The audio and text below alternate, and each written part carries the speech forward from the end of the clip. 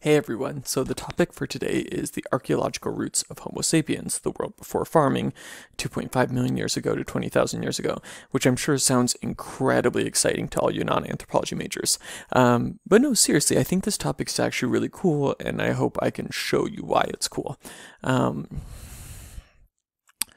whereas last week's module was more about sort of how things biologically changed during that time period in the human family shrub. Uh, this lecture and this chapter that we read is more about how things changed culturally. Because what we start to see at this point is that as much as things are physically changing in the fossil record, things are really rapidly changing in terms of um, culture, in terms of how people make a living, how beings live. And that becomes sort of um, starts real slow, really, really slow, takes millions of years kind of thing, and then it just takes off over the last few thousand years. And that's where humans now, the vast majority of change that's happening in humans now is not so much our bodies changing, but our culture is changing. All right, well, let's talk about the view from physical anthropology and archaeology. So, last week we talked about the idea that the different cultures have many different ways of explaining human origins. And I also talked about the fact that I am not going to require you to believe in or accept the anthropological sort of narrative of human origins. However, it is my responsibility that you understand some of that um, narrative. So, here goes. Um, as far as physical anthropologists are concerned, human history the history of hominins, so the history of basically all the things that split from chimps and bonobos and became Australopithecines uh, and Homo habilis and Homo erectus and Neanderthal and Homo sapiens, the history of hominins really goes back, you know, at least 2.5 million years um, to write about where you see Oldowan tools up here. And until 200,000 years, or, and then what we're going to be talking about today starts at 2.5 million years ago and goes all the way to 20,000 years ago. So, although that might seem like ancient history to you and not interesting at all, um, from an anthropological perspective, that would be 99% of the history of hominins. 99% of the history of this branch of apes that we call hominins occurred in this time period we're talking about today. So, the world in the last 20,000 years, um, the world since farming, so to speak, is with the world that we're familiar with and that we're used to. But I want you to conceptualize in your brain the idea that there were hominins for a far longer period of time if we accept the anthropological narrative. So uh, a lot of things happened during that time, like a lot of things seriously a lot of things. And so, whatever your views on human evolution, whatever your thoughts on human evolution, um, there were these hominin beings that we have fossil record of, and the things that are happening during this time period are really, really interesting. So, let's talk about them. All right, I want you to imagine a world for a minute. I want you to imagine a world without art. You still got a human body, but a world without art, a world without language, a world without music, a world without politics, a world without cooking. Dang, how am I going to get my quesadillas now? A world without tools. What would that be like? What would it be like to not be able to have true human language, true human music, true human cooking? What would that be like? It's sort of what the world as faced by the earliest hominins, right? All of those things developed within the last couple of million years, as far as we can tell from the fossil records. So, importantly, these things did not always exist. Yes, yes, we can argue that non human animals engage in certain types of language, but they don't exist in language, or they don't do language the way humans do in the sense of are infinitely varietous languages.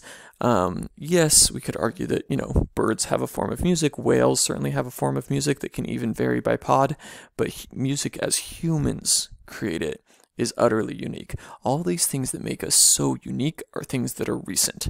They are new, at least from a time frame of sort of geologic time. And so today we're going to talk about when we see some of those things first start to pop up in the fossil record. And to do that, we're going to rely a lot on archaeology.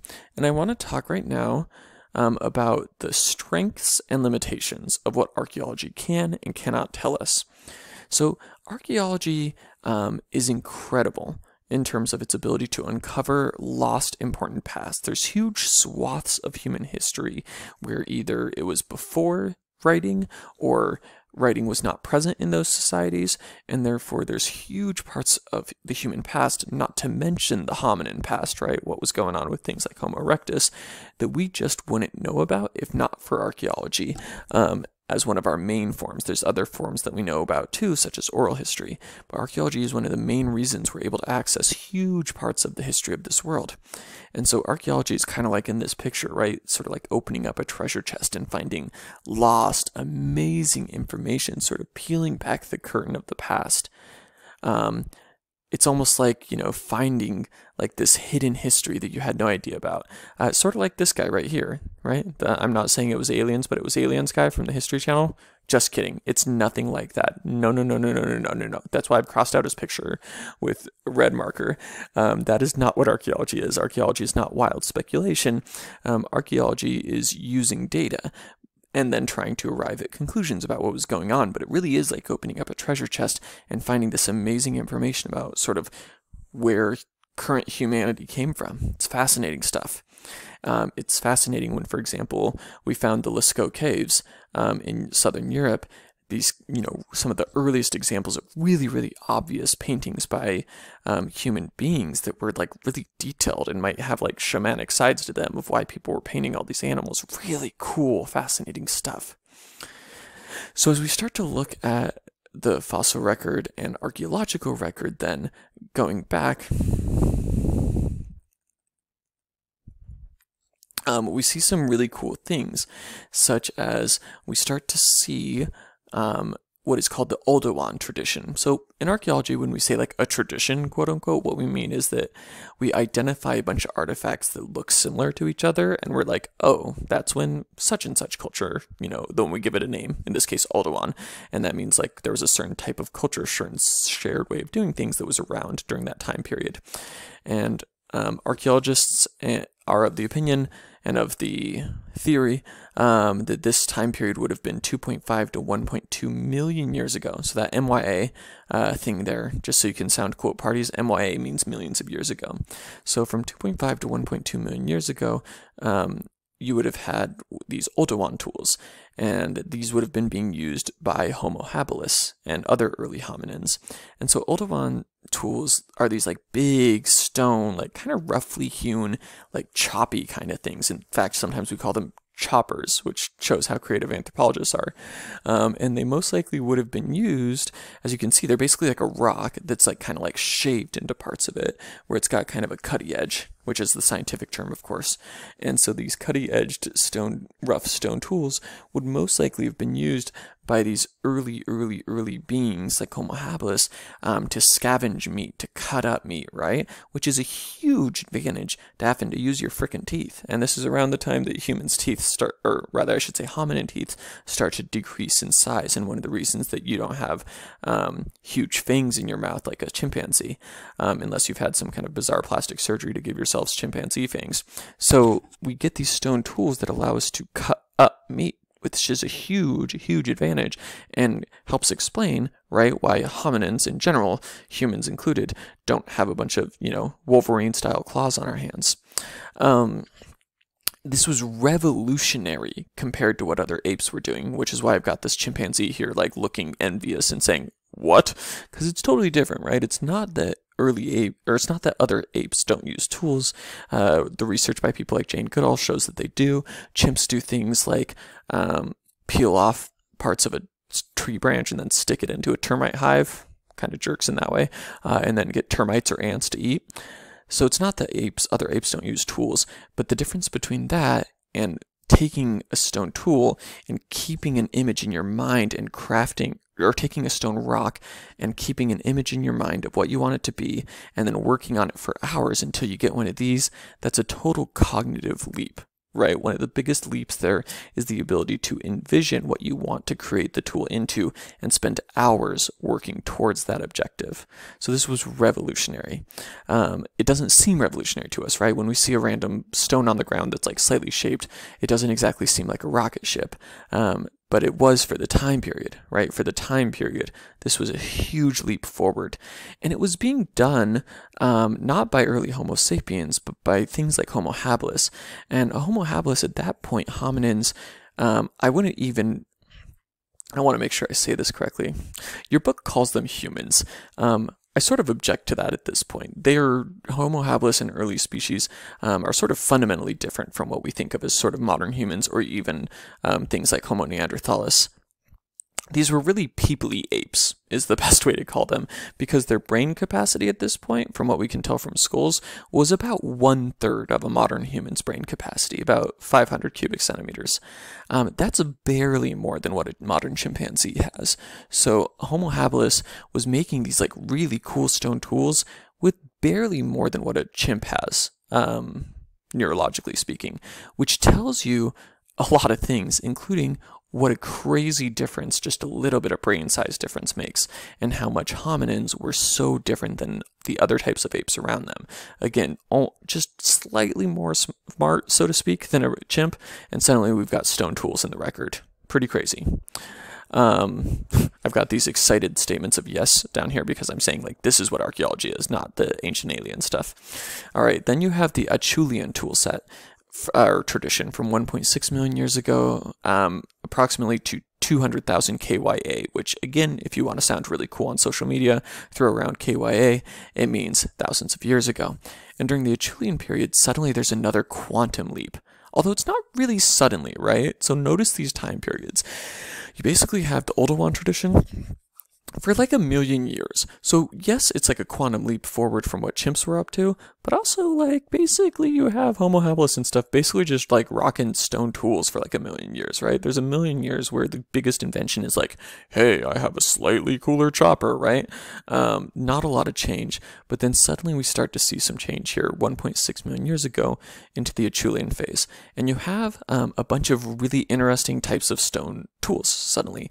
Uh, things like bifaces, where you have two different sides. And I'm doing a hand motion right now, and I'm realizing that it's not useful for you at all because you cannot see my hands. Uh, but they're like a two sided um, jagged edge to a stone. And you have these things that we call hand axes. And hand axes is not really the right word for it, right? As you can look at these things, they're really more like triangular stones. Um, they're not axes in the way that we think of it. It's like having a handle and then a pointed edge. Uh, but they're these things that have these jagged two sides to them. They're kind of triangly. And here's the crazy thing we're not really sure what Homo erectus, which is what you generally would have had at this point, um, what they were up to with these. There's all sorts of theories. You read about one of them, which we sometimes call the sexy hand axe theory, which, how weird are anthropologists that to try to make our stuff more interesting, we use words like sexy hand axe theory. I mean, that's just bizarre, right?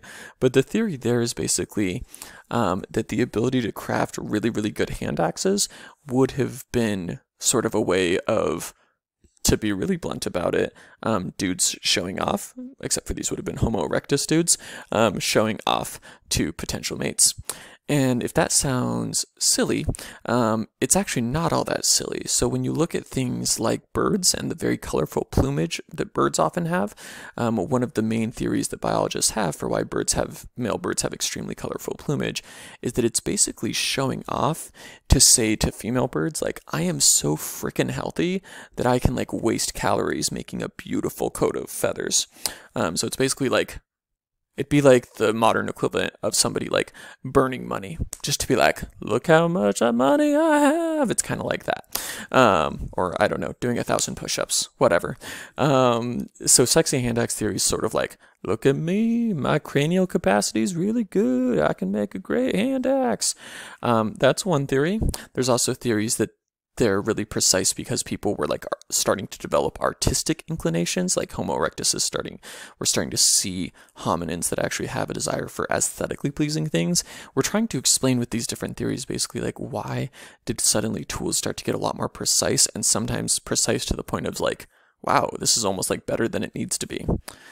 Whatever they were up to with them, and whether or not there was an aesthetic side or a sexual side, one thing is for certain that these were probably useful for at least some, if not many, different tasks. Uh, some people call them like Swiss Army stones because you probably could have done a lot of things with them, such as shear meat off of bones. Um, it's possible they were even used for killing meat at this point. Um, there's several archaeologists are of the opinion that these were used as projectiles, which if you think you're cool because you're into that like new craze about axe throwing, which I think is super weird, um, try to imagine back in the day taking like this like hand-sized pointed rock and throwing it at an animal. But that's like straight up what they probably did. They've tested these rocks, and you're able to do that, and most of the time land a hit, or a lot of the time. So it's possible they were using them as projectiles at this point.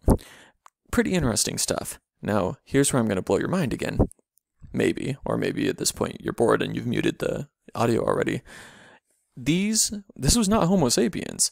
This was Homo erectus, which I'm now going to upgrade them from peoply apes to apey people uh, because they're really still not really like a um, fundamentally Homo sapiens, right? At this point, the cranial capacity is two thirds of a modern human being, um, so about double that of a chimp, but still far far behind uh, modern Homo sapien. Um, for probably this is before in a lot of cases this would have been before all sorts of modern um, innovations, and yet they had these advanced tools. Pretty cool stuff. And yet at the same time, this lasted like another million years. So I want you to be bored right now. Or maybe not bored, but at least I want you to think about how long it's taking for things to change. It's taking hundreds and hundreds of thousands of years to make what, in retrospect, seem like really slow changes.